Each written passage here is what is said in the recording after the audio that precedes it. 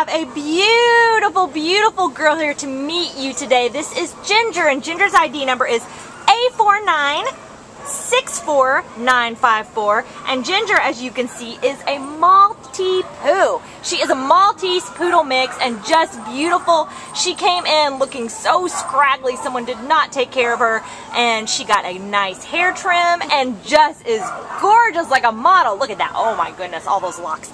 Um, she is about six years old and she came in as an owner surrender on August 2nd.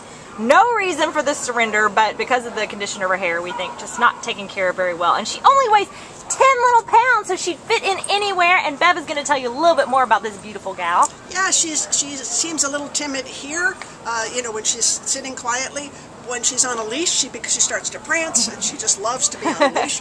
Uh, I've got a soft spot for this one because we have the same hairdo. Ah, nice. She, but like uh, she has better eye makeup than me.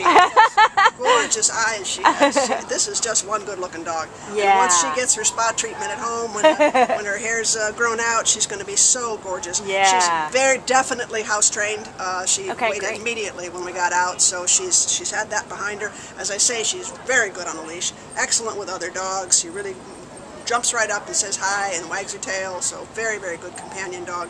Uh, she'd be great for anybody, a, a, a, single person, an apartment, a family, with a yard. You know, she's, yeah. she's a, I think she's a plug and play. She just needs to be somewhere where she's secure and has her own territory, and she's going to just burst out. Wonderful. Yeah, she is just a beauty and so sweet. And um, if you would like to meet her, and we hope that you do, then come on down to the Baldwin Park Shelter. Ginger is waiting for you and she would love to go home. Right, Ginger? She's available now. Yeah, bye-bye. Beautiful, beautiful girl.